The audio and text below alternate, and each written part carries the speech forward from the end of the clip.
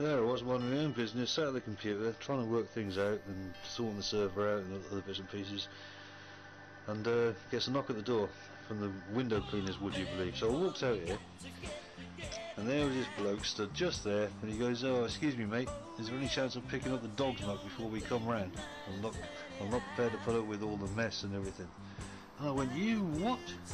So anyway, I went out and had a look, and uh, oh, two offending pieces. Let's have a look. There's one. And there's two. And I thought, Hey Jenny, what the hell is he have you seen this dog shit movie of Nigel's on YouTube?